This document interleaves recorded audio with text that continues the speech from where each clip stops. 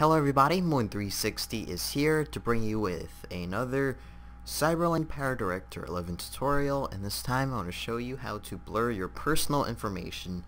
For example your email address, your real name, your telephone number and I'm going to show you how to do that using the program PowerDirector which is this one right here. So we're going to open up the program first of course and then get to the uh, your workspace here and um, so maybe you guys have seen like how on the news they blur certain confidential information like people's face and stuff.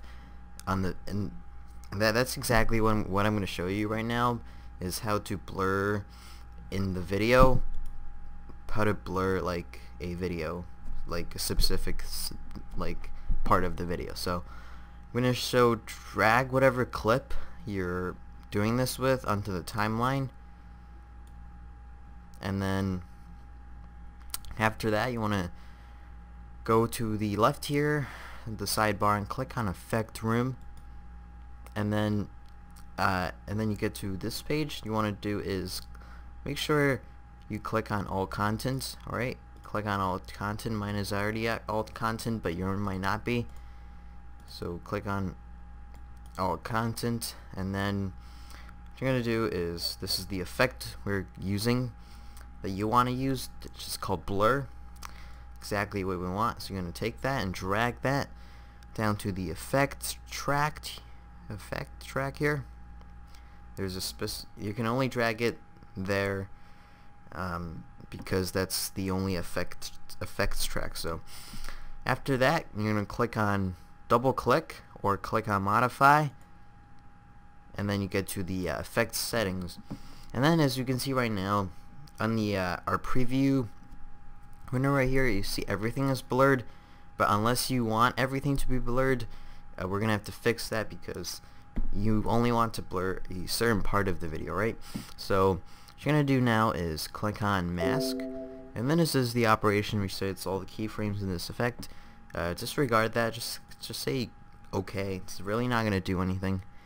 So yeah, and then you get to this little window here, and then you would just uh, drag, pan the corners, drag the corners to whichever part from all directions. You can diagonally, from the sides, or from the top.